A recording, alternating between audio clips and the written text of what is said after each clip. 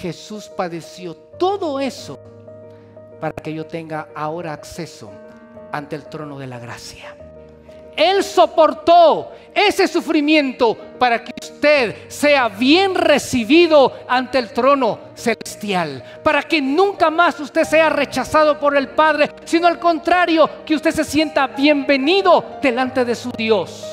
Acerquémonos pues confiadamente ante el trono de la gracia para hallar gracia y misericordia para el oportuno socorro. Usted, usted fue la causa de que Jesús soportara eso. Usted fue la causa de la perseverancia de Cristo.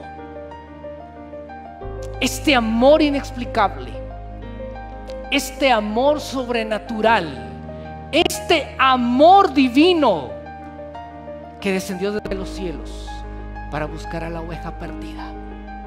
¿Quién era la oveja perdida? Yo era la oveja perdida usted era la oveja perdida, que necesitaba de un redentor, de un salvador.